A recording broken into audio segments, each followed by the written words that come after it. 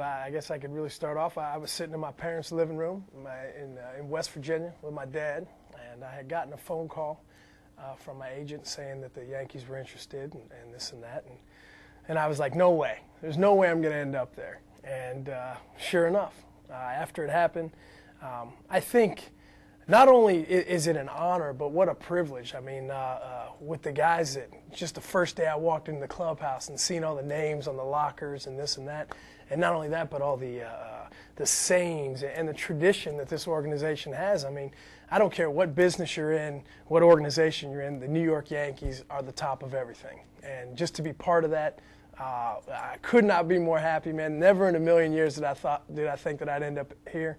And uh, so now I'm getting that opportunity. I want to make the best of it.